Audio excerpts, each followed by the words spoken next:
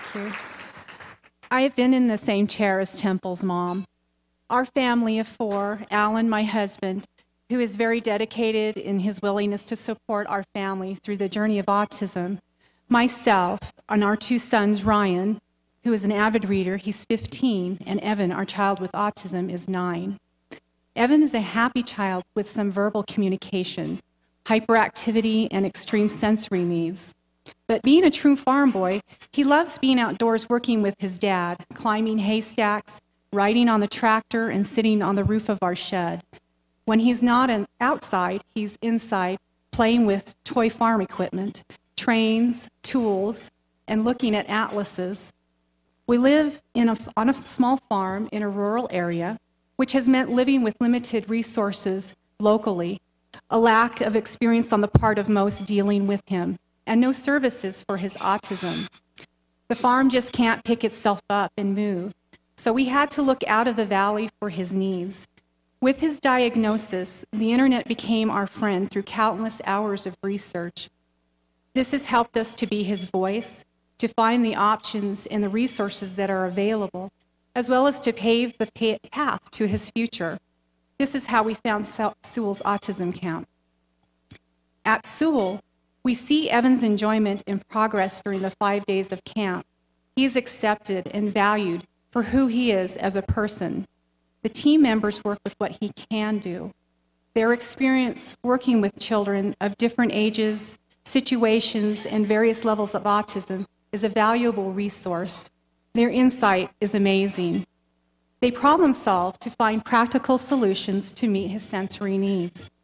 We have been able to make a sensory necklace to help him with those sensory needs, from one that had been designed for a use while Evan was at camp. And this has been very calming for him as it gives him something to do while he waits. The team helped him develop new skills, such as how to get another person's attention appropriately. Evan is now putting his hand on my shoulder and making eye contact to get my attention at the table. Being included in activities such as practicing asking, asking and answering questions, deciding on recipes, going to the grocery store, and playing in the fountain at the park have helped him to develop the vital social skills that he needs. This, in turn, builds upon and strengthens our work with him at home as we take him out into the community to restaurants, museums, and parks. He also gets support and proper direction at Sewall. We see the improvements from it. One example is giving Evan enough time to process and then respond to a request. When we do this at home, he can follow through with what was asked.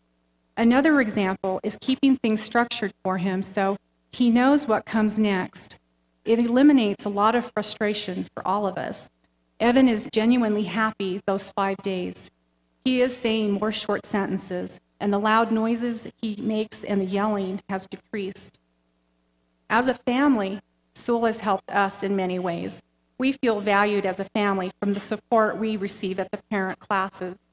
The discussions each day are encouraging because our feelings and emotions are validated.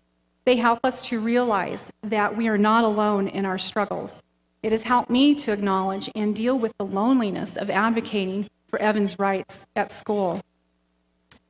We have learned that his behavior is not his fault, but how others react to or handle it can impact whether it escalates or declines. Sewall has given us ideas to get what he needs and to keep pushing for those, such as getting his needs met, inclusion, doing the things he's able to do, and seeing his potential while at the same time giving him the assistance needed to attain it. At camp, we are able to meet other families from different backgrounds, which gives us a realistic view of what being on the spectrum means. The classes have provided immediate practical help one way has been learning about the importance of supporting his sensory needs throughout the day with sensory activities. We have applied this by letting him roll on a large, spiky ball, jump on the trampoline, and explore musical instruments such as drums, xylophone, and harmonica. This enables Evan to regulate his senses so he can relax, which means all of us can relax. The benefits are ongoing. For instance, we learned that pairing a visual with ver verbal accesses two areas of the brain, which is good. At home, using the visuals such as pictures or sign language with our verbal communication is calming for Evan because it enables him to focus. This makes an incredible difference during public outings. It reduces stress for the whole family, and we can enjoy the activity. Another is how pictures with the written word underneath the object develops good reading skills. His reading skills are developing, and it assists his participation in chores around the house, which impacts our family in a positive way. And it is also building the steps towards independence as an adult. The relationship that is developing with his brother is gratifying and fun to watch. As he echoes what his brother says, Evan is also making eye contact with him. And those moments put smiles on both their faces. And to quote Ryan, it makes me happy. In conclusion, Sewall has given us hope.